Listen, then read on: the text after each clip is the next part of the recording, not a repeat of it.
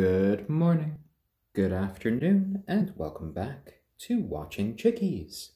Now, here on day 142 of our broadcast.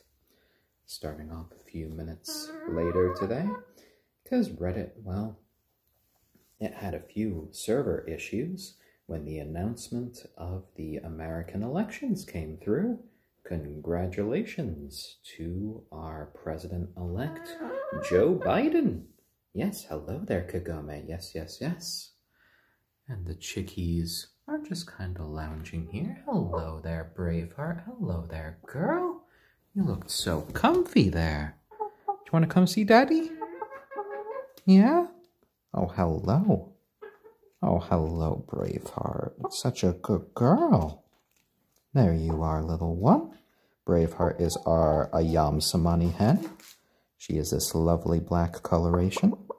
She's getting a little bit broody as she gets close to um, her first egg laying. Hello there, girl. Hello. Yes.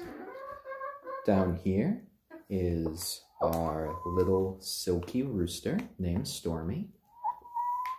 And over there, enjoying a little meal, is our Onagadori hen named Kagome. And all the chickens are just kind of going about today.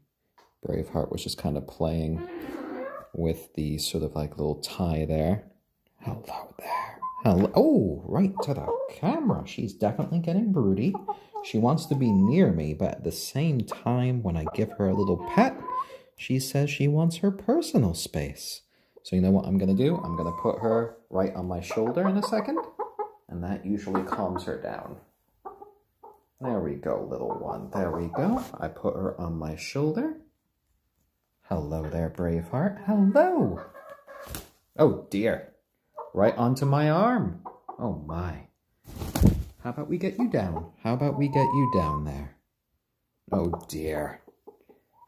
So much activity from the chickies.